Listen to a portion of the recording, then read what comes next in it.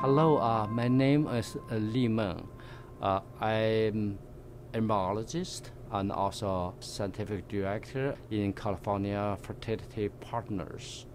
Life is a miracle, which always fascinated me. So, especially for the early stage of the life, which is from fertilization to embryo development.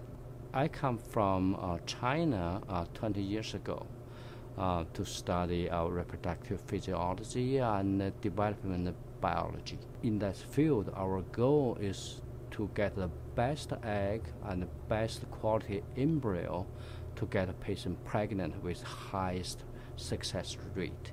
I'm so proud of what I'm doing. In vitro fertilization, uh, that can combine uh, my long-standing research uh, to help patients to build family and get their dream come true.